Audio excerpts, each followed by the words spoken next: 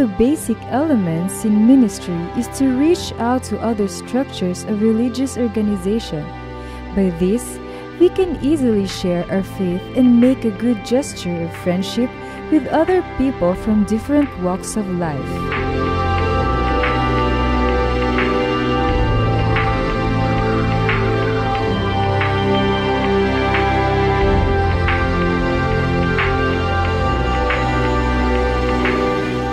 Southern Mindanao Mission Ministerial Department has invited resource speakers from South Philippine Union Conference to conduct the said program that has an objective to disseminate to our Adventist pastors the importance of developing goodwill and fellowship.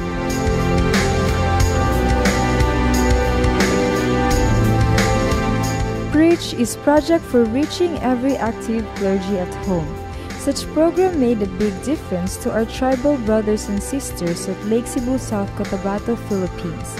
This interdenominational dialogue made way to convert pastors from other churches and are now active members of Seventh-day Adventist Church.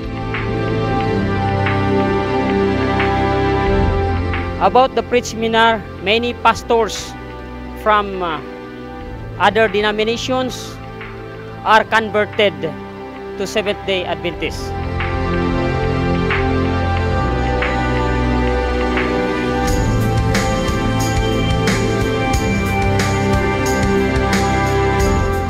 Ako si Torres Sabal. Ako isa ka pastor sa Alliance Church Kamakop. Gipasalamat ko sa Ginoo, ari na ko sa Seventh Adventist nga nakita ko dire dire ang kamatuoran. ang mga membro sa Southern Baptist 35 kab ah, kabilog gidala ko sila sa pagsimba sa Seventh Day Adventist kurang kag na baptize sila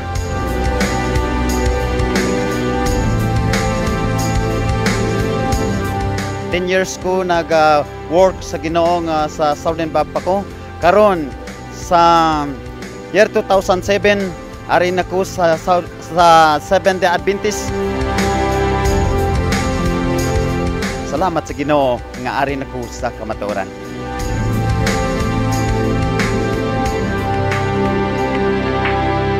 aduna siya programa nga manindot kayod sama sa preach seminar o GFC nga seminar matag bulan nga gihimo dinhi sa Lake Cebu mao hinungdan ang mga nahimong na konvertido sa Seventh-day Adventist madasigon sila nga nagabuhat sa pagwali sa mayang balita sa palibot sa mga barangay sakop sa Lake Cebu.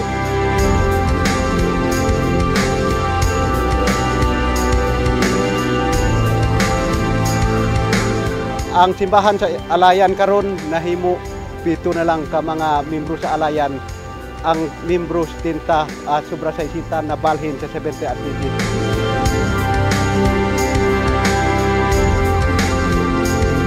Obedience for Christ is one of the programs of Ministerial Department which give laymanship training for clergies that are now members of our church.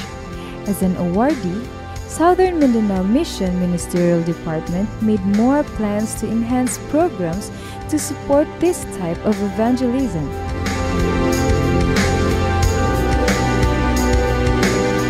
God chooses men and women who have passion to seek and save.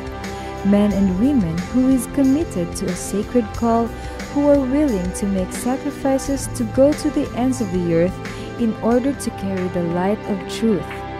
Men and women that can arrest the attention and convict the heart of the listeners. We must bear the burden by letting our voices be heard that the Christ we are waiting is soon to come.